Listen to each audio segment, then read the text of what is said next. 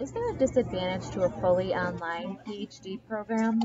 So I wouldn't say there's an advantage to doing a fully online PhD program.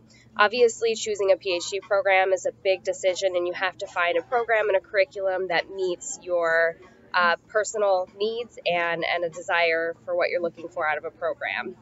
It requires a lot of discipline and self motivation, so you want to find the right fit.